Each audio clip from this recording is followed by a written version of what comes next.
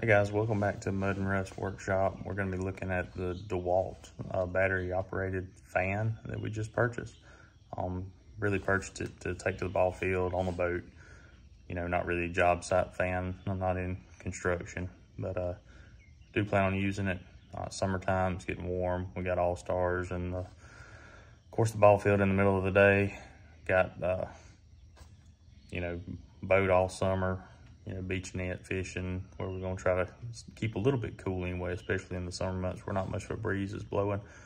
But anyway, picked it up off Amazon. Uh, I think it was 87, 88 bucks. Um, was on sale. I already have DeWalt batteries, so I didn't have to have any of those. But I did pick up a four amp hour uh, battery to go with it. And just, I don't know, thought I needed one, I guess, for another 80 bucks. So all in, about 160 bucks. Um, just strictly the fan, 85, 90 bucks. We're gonna take a look at it, show you guys what's in the box, and uh, take a look and see how it performs.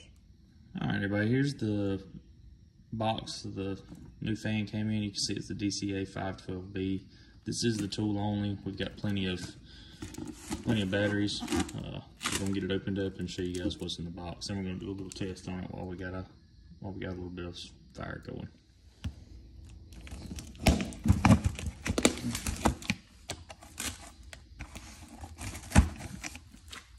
Kind of hard to open one-handed.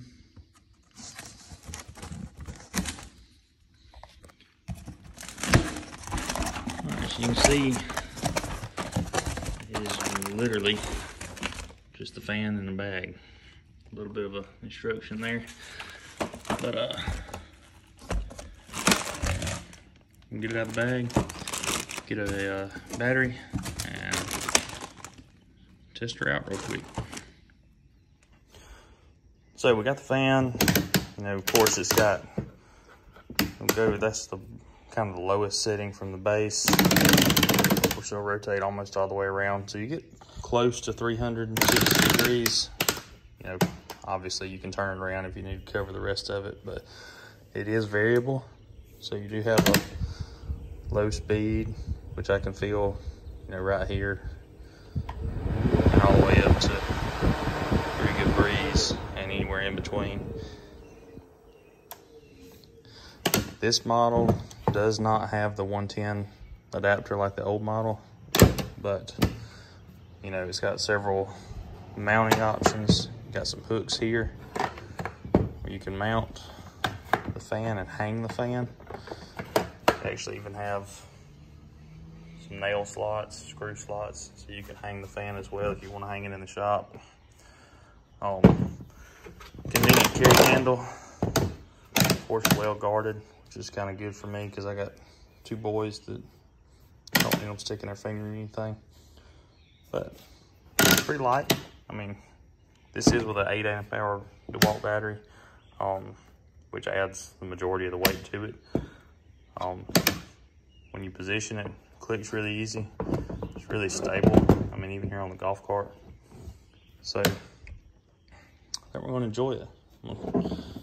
Show you guys a little bit of testing with a little fire we got built. But uh, I think it's going to perform well. It's going to work well. All right, so we've got the fan loaded up. Now we have an 8 amp hour battery in there. It's charged.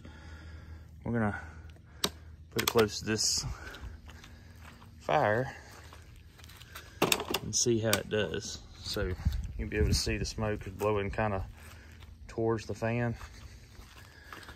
We're gonna turn it on. This is the lowest setting it comes on. You can see it change the direction. Pretty low.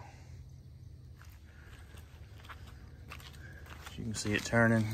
This is kind of have to be real close to you to feel much. Fully blowing though. Pretty good, uh, pretty good airflow. And this is back around the boat trailer, probably eight foot away. Still see the smoke getting blown around.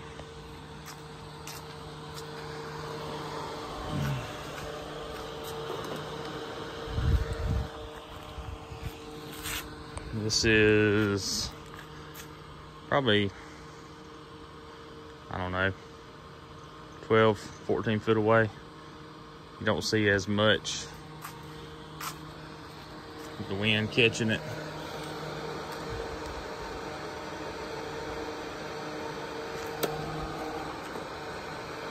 Looks like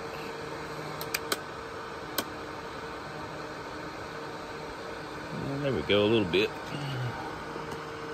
Yeah, Looks like roughly, we'll measure it here in a second, but you're gonna need to be within, you know, 10, 12 feet to actually feel the feel the wind from the fan at its highest highest setting.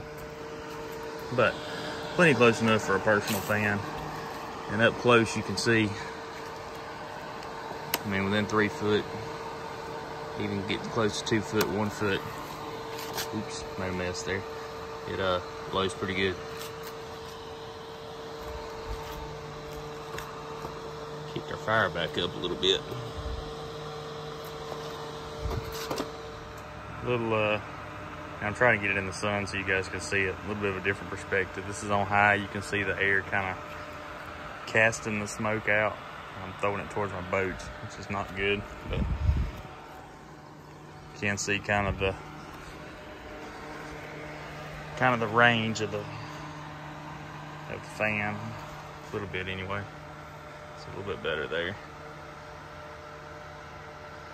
So it throws, you know, of course, the closer you get, the more the more strength it has. But you know, you can see, you know, that 12, 15 foot range, you're still feeling some breeze.